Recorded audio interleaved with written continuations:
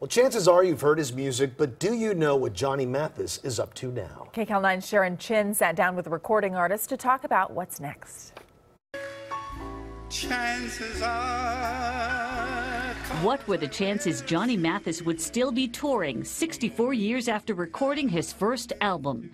The 84 year old told me it all comes down to this. I love to sing. My dad sang, and he was the reason uh, that I sing. Mathis was the fourth of seven children, and when his father bought a $25 piano to teach them music, it changed everything. We lived in a very small apartment building, and uh, the door was, uh, was not big enough for the piano, so he dismantled it, took it through the door. Mathis was also a star athlete. He broke a high jump record held by college friend and future NBA great Bill Russell.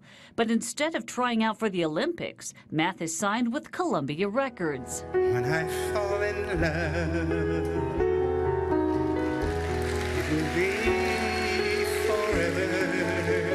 The West Hollywood resident has recorded more than 80 albums, but he's never written his own music. I have tried to write, and I'm terrible at it. He does take credit for a few changes. I have rewritten some of the songs by accident.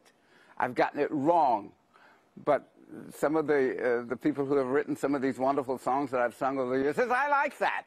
Let's not change it. And I said, but I sang it wrong. Never mind. And though not politically outspoken, Mathis did join celebrities who sang, inspiring participants in the 1965 Civil Rights March from Selma to Montgomery. They got a warning that scared him.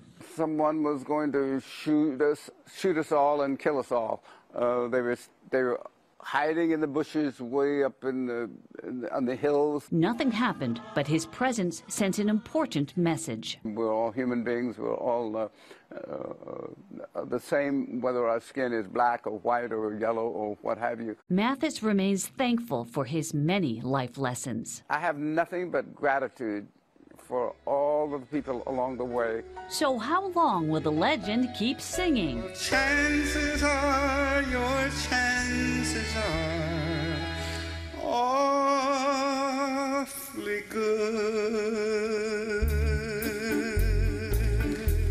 Sharon Chin, KCAL 9 News. He still has it, huh? Yeah, he can really He really beautiful, can. beautiful voice.